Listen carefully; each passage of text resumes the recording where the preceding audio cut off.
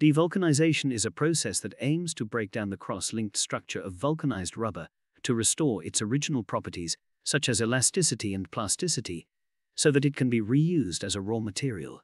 Devulcanization is crucial in tire recycling, as tires are made of complex materials such as steel, cord, natural and synthetic rubber, and additives.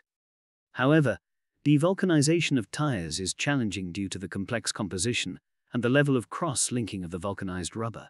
The cross-linking process, which was developed by Charles Goodyear in the mid-19th century, involves adding sulfur to the natural rubber to make it more durable and resistant to heat and wear.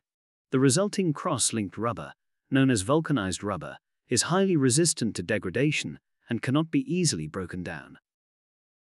Several approaches have been developed to achieve devulcanization of tires, including chemical, thermal, and mechanical methods. Chemical methods involve the use of various chemical agents, such as solvents and reactive chemicals, to break down the cross-linked structure of the vulcanized rubber. Thermal methods use high temperatures to break down the vulcanized rubber, while mechanical methods involve the use of mechanical shear forces to break down the rubber.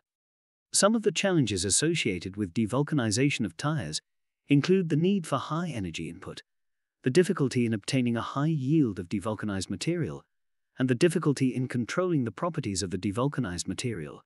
Despite these challenges, there is growing interest in devulcanization as a means of increasing the value of scrap tire materials and reducing waste. In conclusion, devulcanization is a promising approach to tire recycling, but it requires further research and development to achieve efficient and effective results.